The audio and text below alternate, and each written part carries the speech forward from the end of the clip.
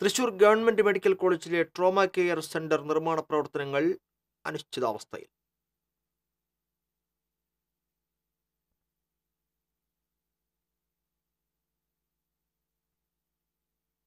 പൊതുമേഖലാ സ്ഥാപനമായ H L private ലിമിറ്റഡിന് നിർമ്മാണത്തിന്റെ കരാർ നൽകിയിരുന്നു. ട്രോമോ കെയറിന്റെ നിർമ്മാണ പ്രവർത്തനങ്ങൾക്കായി പതിനാല് കോടിയോളം രൂപയാണ് അനുവദിച്ചിരുന്നത്. അഞ്ചു വർഷം മുമ്പാണ് നിർമ്മാണ പ്രവർത്തനങ്ങൾ ആരംഭിച്ചത്. പണി പൂർത്തിയാക്കാൻ രണ്ടു കോടിയോളം രൂപ കൂടി വേണമെന്ന് കമ്പനി ആവശ്യപ്പെട്ടതോടെയാണ് നിർമ്മാണ പ്രവർത്തനങ്ങൾ തടസ്സപ്പെടാനിടയായത്.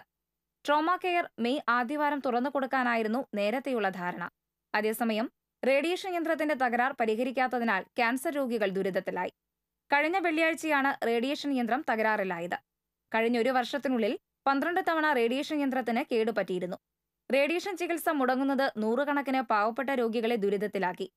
ചെന്നൈയിൽ നിന്ന് വിദഗ്ധരെത്തി പരിശോധിച്ചാൽ മാത്രമേ റേഡിയേഷൻ യന്ത്രത്തിന്റെ തകരാർ കണ്ടെത്താനാവുകയുള്ളൂ. റേഡിയേഷൻ യന്ത്രം തകരാറിലായതുമൂലം കോഴിക്കോട് തിരുവനന്തപുരം മെഡിക്കൽ കോളേജുകളിലേക്ക് രോഗികളെ റഫർ ചെയ്യുകയാണ്. T C V news Thrissur.